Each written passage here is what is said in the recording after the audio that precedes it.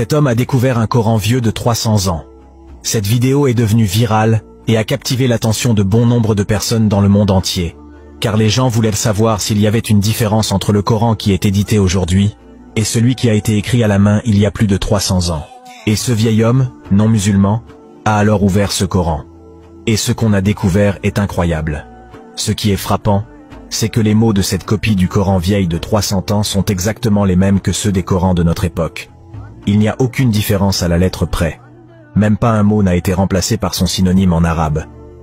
Le Coran est resté miraculeusement inchangé depuis plus de 1400 ans, et nous, en tant que musulmans, nous ne sommes pas étonnés de savoir cela, car c'est simplement la réalisation de la promesse d'Allah, à savoir de préserver le Coran en arabe, tel qu'il a été révélé au prophète Mohammed, paix et salut sur lui par l'intermédiaire de l'ange Gabriel, contre toute modification humaine.